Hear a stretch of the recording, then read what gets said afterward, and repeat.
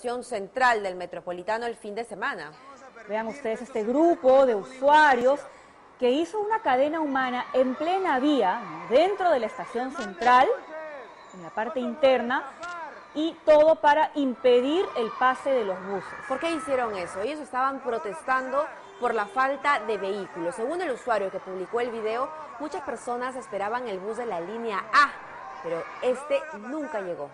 Ellos reclamaban porque solamente estaban pasando la B, pasaba uno, una B, otra B, otra B, y dijeron que no, ya es el colmo ya, porque ellos habían pagado su pasaje y necesitaban la, línea A. Claro, no tenía cuándo pasar. Ya, para reclamar mi derecho, pisoteo el derecho del resto, ¿no? Esa es la actitud.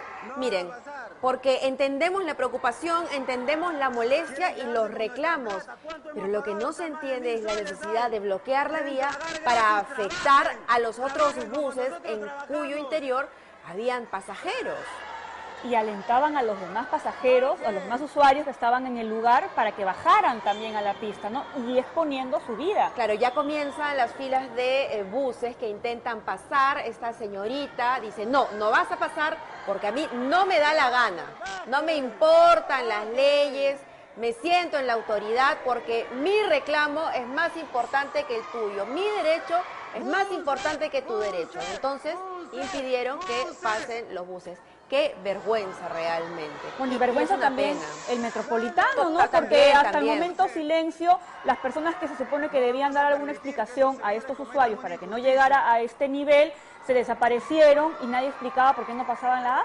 Sin duda que las autoridades del metropolitano están mal, pero de ninguna manera eso justifica la actitud que tienen personas supuestamente civilizadas, ¿no? que saben que hay maneras de reclamar. Esta, esta no es la manera. no, sigo sin entender por qué afectar el libre traslado de otras personas que nada tienen que ver en el asunto. Queremos buses, queremos buses, queremos buses, ¿ya? Queremos buses. Nos vamos